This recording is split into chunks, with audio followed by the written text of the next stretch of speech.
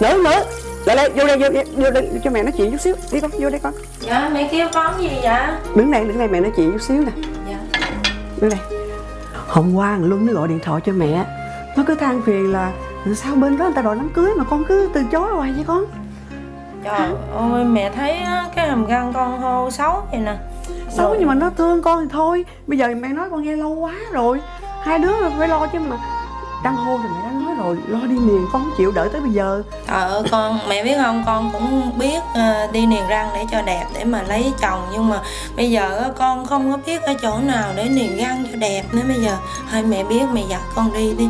Thôi được rồi mẹ biết rồi. Mẹ có coi trên tivi á cái đài ABTV gì á có quảng cáo Apple Dentist.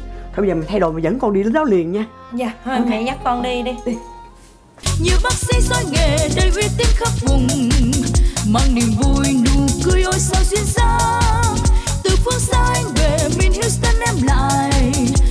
một lần mới thấy rằng mình xinh quá xinh.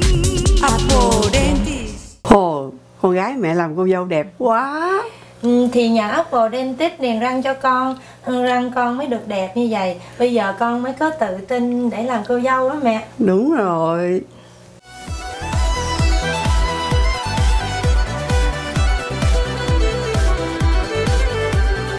Wow hôm nay con gái tôi nó cười tươi quá hàm răng rất là đẹp.